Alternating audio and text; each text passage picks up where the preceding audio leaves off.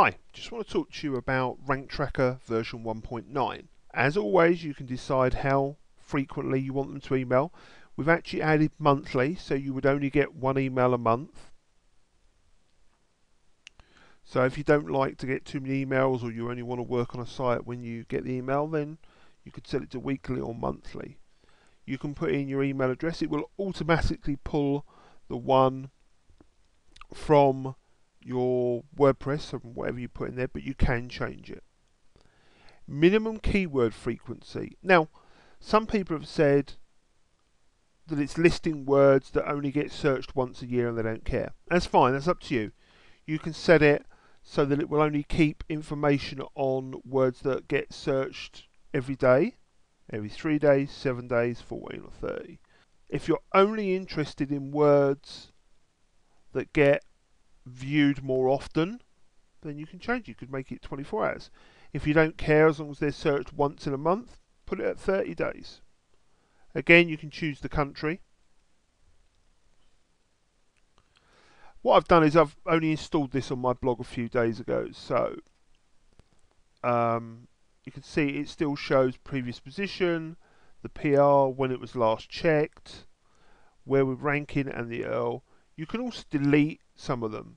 So if it's just like look I'm not interested in that. I don't care about that. I don't want to track that. But anyway so as you can see that's one thing. You can update so if you want to delete one.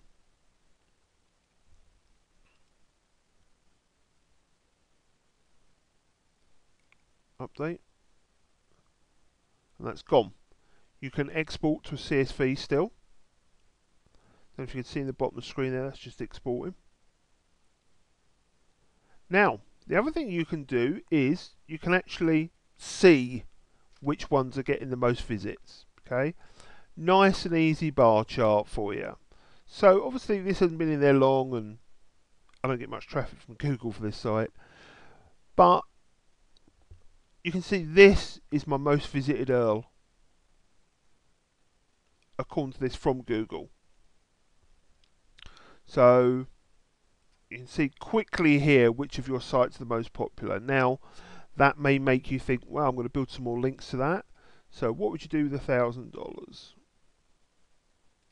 So I'm getting searches for because you see it's grouped them together so you can now see nice and easily um, the words. So things to do with a thousand dollars. What would you do with a thousand dollars? So I can now do either expand that page. Say these were ranking at number five. Okay. What I would do is I would look at that page, see if this phrase was in there. If not, I would probably write a whole new paragraph with that as the uh, heading for the paragraph and make sure I included both of these in the content. That's the new Rank Tracker 1.9.